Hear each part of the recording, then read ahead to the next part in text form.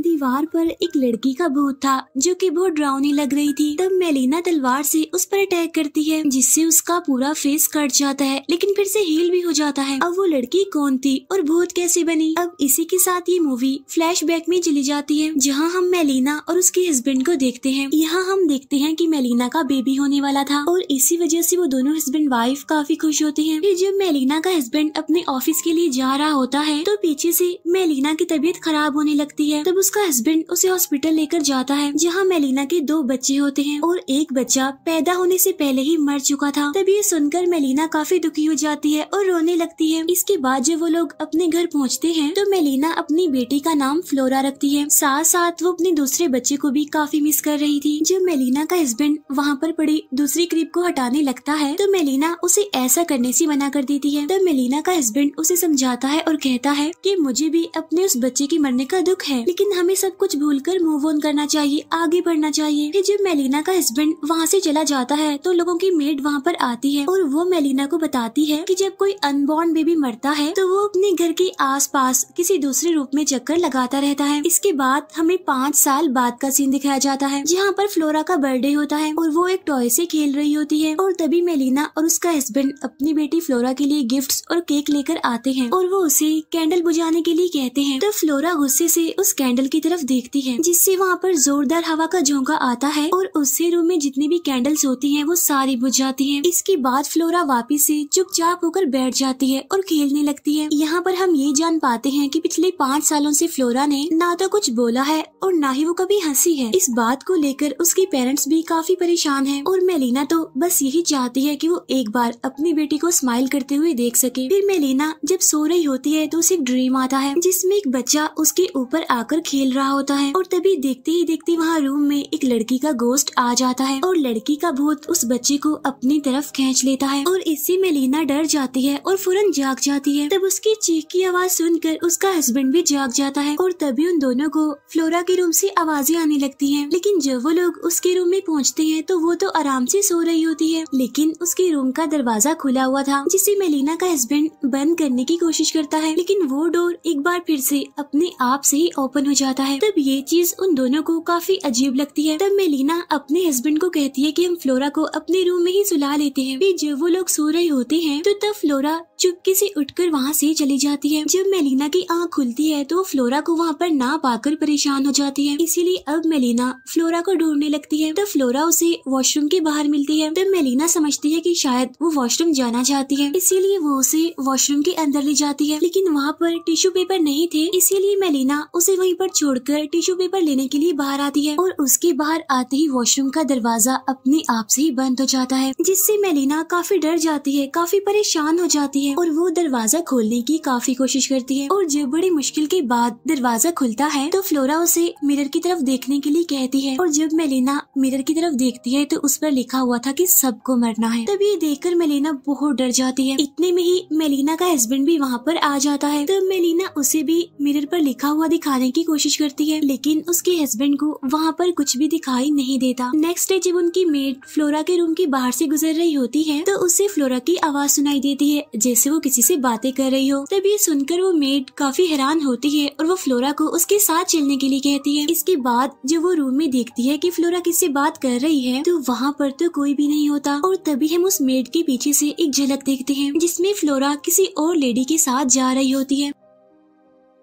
Next day Melina का husband उसे एक साइकाइट्रिस्ट के पास लेकर जाता है, क्योंकि उसे लगता है कि बार बार एक ही बात सोचने की वजह से मेलिना काफ़ी परेशान हो गई है, काफ़ी डिप्रेस्ड हो गई है, और यही वजह है कि मेलिना को अजीबो गरीब चीज़ें नज़र आ रही हैं। फिर जब मेलिना उसके साथ होने वाले सारे इंसिडेंट्स के बारे में उस साइकाट्रिस्ट को बताती है तो वो कहता है की डिप्रेशन की वजह से आहिस्ता आहिस्ता आपकी मेंटल स्टेट बिगड़ती जा रही है, यानी खराब होती जा रही है तब ये बात सुनकर वो गुस्सा हो जाती है तब मेलिना का हस्बैंड उसे समझाता है और मेलिना का ध्यान इन सभी से हटाने के लिए, वो उसे वेकेशन पर चलने के लिए कहता है ताकि उसका मूड ठीक हो जाए और वो थोड़ा अच्छा फील करे और इन सब के बारे में भूल जाए। घर आने के बाद मेलिना जब अपने रूम में होती है, तब उस रूम की लाइट्स बड़े ही अजीब तरीके से ऑन ऑफ़ होने लगती हैं और जब मेलिना लाइट्स को ठीक करने के लिए आगे बढ़ती है तो तभी अचानक से एक लड़की का गोस्ट उसके सामने आ जाता है, जिसे देखकर मेलिना बहुत डर जाती है और वहाँ से भागने की कोशिश करती है। लेकिन वो भूत, यानी वो सोल मेलिना का पाँव पकड़ लेती है जिससे वो वहीं पर ही गिर जाती है। साथ साथ वो चिल्लाने भी लगती है। तब उसकी आवाज़ सुनकर उसका हस्बैंड भी वहाँ पर आ जाता है। और जब वो अपने हस्बैंड को सब कुछ बताती है तो वो वहाँ पर चेक करने लगता है। लेकिन उसे तो वहाँ पर कुछ भी दिखाई नहीं देता। उधर मेड को फ्लोरा दिखाई देती है, जो कि इधर उधर घूम रही थी। तब वो मेड उसे वापिस से बेडरूम में जाकर सोने के लिए कहती है। और तभी पूरे घर की लाइट्स ऑफ़ हो जाती है। तब मेलिना का हस्बैंड लाइट ठीक करने के लिए जाता है। तब मेलिना फ्लोरा के रूम में उसे देखने के लिए आती है, जहाँ फ्लोरा उसे बेड पर सोती हुई मिलती है, तभी उसे रूम के बाहर मेड खड़ी हुई दिखाई देती है, जो कि काफ़ी अजीब लग रही थी। और जब मेलिना डोर ओपन करती है तो वो मेड उस पर अटैक कर देती है और उसका गला दबाने लगती है। इस दौरान वो मेड काफ़ी ड्राउनी लग रही थी। उधर मेलिना के हस्बैंड को कोई आवाज़ सुनाई देती है, और जब वो ऊपर से देखता है तो उसे वहाँ पर मेड की डेड बॉडी दिखाई देती है, क्योंकि वो ऊपर से नीचे गिरकर मारी गई थी। ये बात मेलिना के हस्बैंड को काफ़ी अजीब भी लगती है, और वो काफ़ी हैरान होता है। इसके बाद वो मेलिना को आवाज़ लगाते हुए उसके पास पहुँचता है। वहाँ पहुँच वो देखता है की मेलिना ज़मीन पर लेटी हुई है और ज़ोर ज़ोर से चिल्ला रही है। तब उसका हस्बैंड उसे होश में लाता है और मेलिना बताती है कि हमारी मेड ने मुझे मारने की कोशिश की है। तब ये सुनकर उसका हस्बैंड कहता है कि ऐसा नहीं हो सकता क्योंकि वो तो मर चुकी है। ये बात सुनकर मेलिना काफ़ी डर जाती है और काफ़ी हैरान भी होती है। इसके बाद वो तीनों, यानी मेलिना, उसका हस्बैंड और फ्लोरा वेकेशन पर जाते हैं। रास्ते में मेलिना की सिस्टर की कॉल आती है। तब मेलिना के हस्बैंड को पता चलता है की उसकी एग्ज़ाम्स खत्म हो गई है, यानी अब वो फ्री है। इसीलिए वो उसे अपने घर आने के लिए कहता है, ताकि वो फ्लोरा का ख्याल रख सके। वो लोग वेकेशन के दौरान काफ़ी इंजॉय कर रहे होते हैं, लेकिन फ्लोरा वैसे ही चुपचाप रहती है। ना तो किसी से बोलती है और ना ही हंसती है। इस बात की वजह से उसके पेरेंट्स काफ़ी परेशान थे। जब वो लोग इस बारे में डिस्कस कर रहे होते हैं तो तभी फ्लोरा वहाँ से गायब हो जाती है अचानक से। फ्लोरा को ढूंढते हुए मेलिना के हस्बैंड को एक लड़की मिलती है, जिसका नाम बियांका होता है। बियांका वही लड़की थी जो काफ़ी सालों पहले मेलिना के हस्बैंड को पसंद करती थी और उन दोनों की शादी भी होने वाली थी। लेकिन किसी वजह से उनकी शादी होते होते रह गई। लेकिन अभी तक बियांका ने वो रिंग पहनी हुई थी। यहाँ पर मेलिना का हस्बैंड उससे पूछता है कि तुम इतने सालों से कहाँ थी? लेकिन इस बात पर बियांका ठीक से जवाब नहीं देती। तभी मेलिना भी फ्लोरा को लेकर वहाँ पर आ जाती है और बियांका से मिलकर फ्लोरा काफ़ी खुश हो जाती है और उसके साथ खेलने भी लगती है। तब उसे देखकर मेलिना और उसका हस्बैंड काफ़ी खुश होते हैं और हैरान भी। इसके बाद जब वो लोग अपने रूम में जाने लगते हैं। तो फ्लोरा बियांका को भी उनके साथ चलने के लिए कहती है। फिर जब वो लोग ब्रेकफास्ट कर रहे होते हैं तो यहाँ पर फ़र्स्ट टाइम फ्लोरा बोलती है और वो बियांका से बातें करने लगती है। तब ये देखकर मेलिना और उसका हस्बैंड काफ़ी हैरान होते हैं, क्योंकि पिछले पाँच सालों में उन्होंने फ्लोरा को कभी भी बोलते हुए नहीं देखा था। इसीलिए मेलिना को लग रहा था कि बियांका उनके लिए एक फरिश्ता बनकर आई है।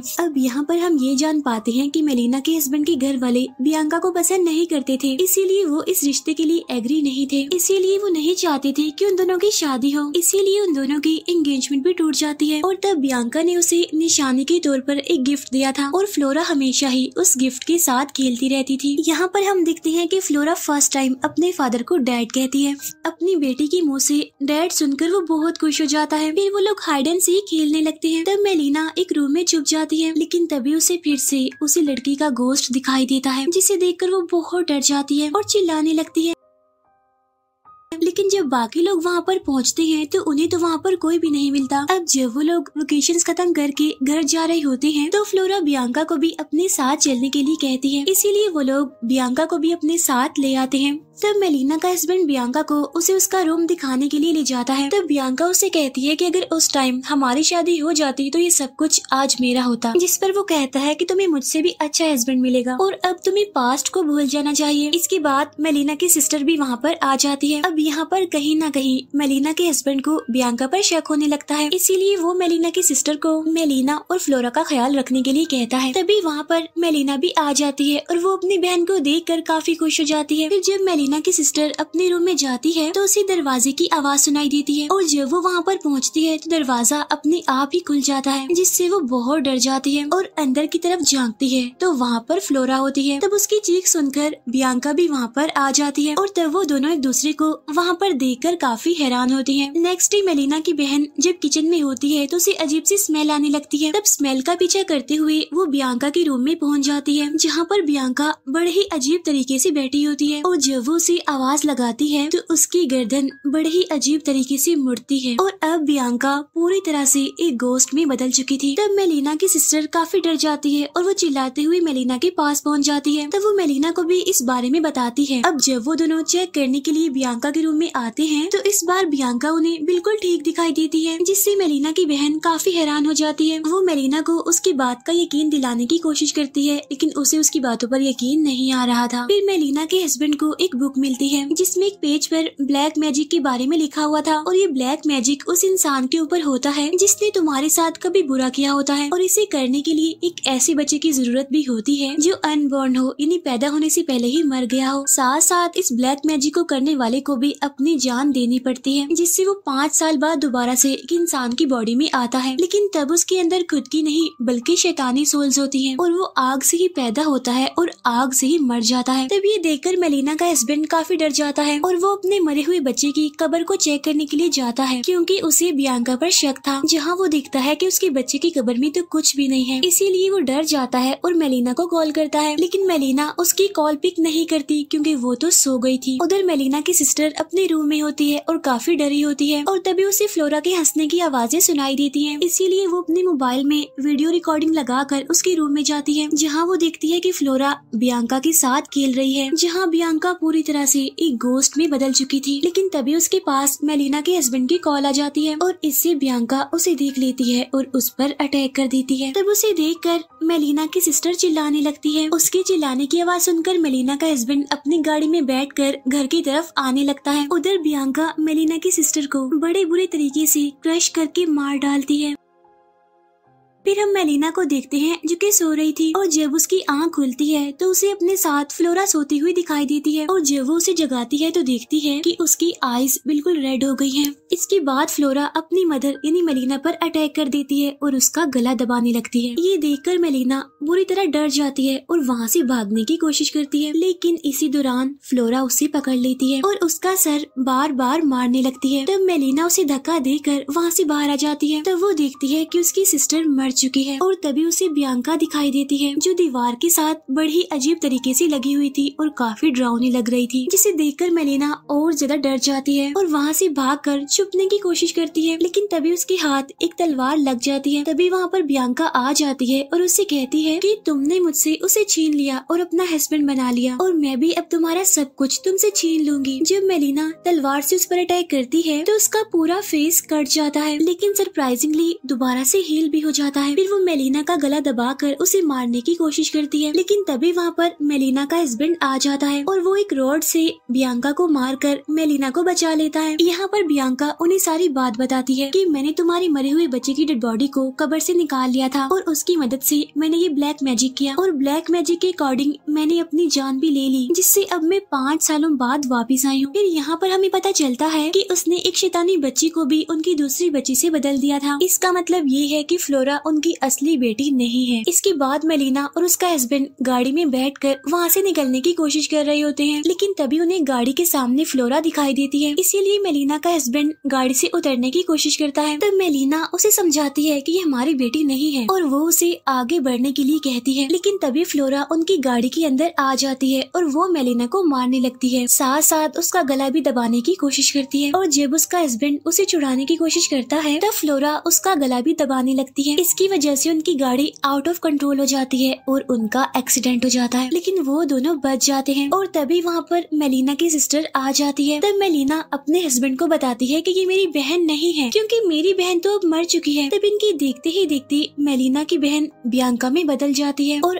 वो शैतानों की तरह हंसने लगती है। उसी टाइम मेलिना के हस्बैंड को याद आता है कि ब्लैक मैजिक वाले पेज पर लिखा हुआ था कि शैतान को आग की मदद से ही मारा जा सकता है। इसीलिए अपने पॉकेट से लाइटर निकाल कर बियांका को आग लगा देता है, जिससे वो पूरी तरह से जल जाती है। और यहाँ पर ऐसा लगता है कि सब कुछ नॉर्मल हो चुका है। लेकिन उसी टाइम अब वो मेलिना के अंदर आ जाती है, जिससे अब मेलिना बहुत ही ड्राउनी लगने लगती है। और वो अपने हस्बैंड पर अटैक करके वहाँ से भाग जाती है। तब मेलिना का हस्बैंड उसे ढूँढने लगता है। तभी वो दिखता है कि मेलिना हवा में फ्लाई कर रही है। तब उसका पीछा करते हुए वो एक छोटे से घर में पहुँच जाता है, जहाँ पर मेलिना एक चाकू से उसके सीने पर स्टैप करती है, जिससे उसका हस्बैंड उसे दूर फेंक देता है। लेकिन तभी मेलिना के हाथ हाथ में एक चांसा लग जाती है, जिससे वो अपने हस्बैंड की एक बाजू और एक टांग पूरी तरह से काट देती है। और उसके अंदर बियांका कहती है कि, जैसे मैंने अपने मरने का दुख सहा है, अब वैसे तुम भी सहो। इसके बाद वो हवा में फ्लाई करते हुए एक कबर में जाने वाली होती है। लेकिन तभी मेलिना का हस्बैंड उसे पकड़ लेता है और वो मेलिना को वो सारी अच्छी मेमोरीज याद दिलाने की कोशिश करता है, जो उन दोनों ने एक साथ गुजारी थी। वो मेलिना को कहता है कि, तुम्हें बियांका को अपने ऊपर हावी नहीं होने देना। तुम्हें उसका मुकाबला करना होगा, उसे लड़ना होगा, जिससे अब मेलिना होश में आने लगती है, तब बियांका उसकी बॉडी से अलग हो जाती है और उसी कबर में गिर जाती है और तब देखते ही देखते उस कबर में आग लग जाती है, जिससे फाइनली बियांका मारी जाती है। फिर नेक्स्ट सीन में हम देखते हैं कि मेलिना और उसका हस्बैंड बच गए हैं और वो एक हॉस्पिटल में है, जहाँ डॉक्टरों ने उनकी असली बेटी का पता बता देता है, जिससे उन दोनों को उनकी असली बेटी मिल जाती है, जिससे वो दोनों काफ़ी खुश हो जाते हैं। फिर वो अपनी बेटी को अपने साथ अपने घर ले आते हैं और यहीं पर ये मूवी एंड हो जाती है।